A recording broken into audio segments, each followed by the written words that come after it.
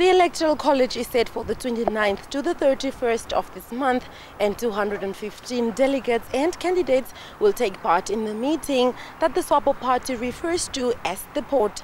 Nangolo Mbumba says the party's wings and affiliate unions have already finalized their respective lists of candidates and delegates to the Electoral College.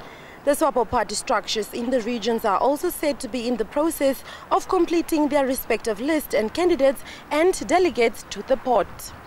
SWAPO party members of parliament who are not members of the Central Committee are 17 by virtue of the fact that they are members of the present parliament or the present National Assembly, they will go to the, to the port.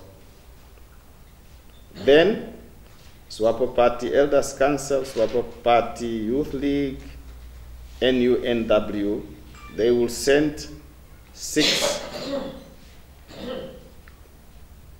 the six delegates who are also candidates. The SWAPO Party Women Council will send 10. Each region will send two candidates the Secretary General indicated that in case the amendment to increase the seats in Parliament is not passed by the commencement date of the Electoral College, the party will base its list on the existing law and only nominate 72 members to the National Assembly. Whatever number is allowed by law by that time. We are not going to have extra people, we are not going to have by just in case, no.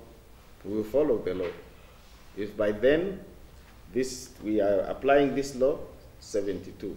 If by then the law has been passed at least by the National Assembly, then we go to, to the number that they are proposing now. The SWAPO party's headquarters was recently burgled and ransacked. Mbumba believes this was a politically motivated move that saw confidential files stolen from the premises. He also condemned the rumors that electronic voting machines of the Electoral Commission of Namibia were stored on the premises, which he believes was one of the reasons that motivated the crime. For the News on One, I'm Treasure Kauzuu.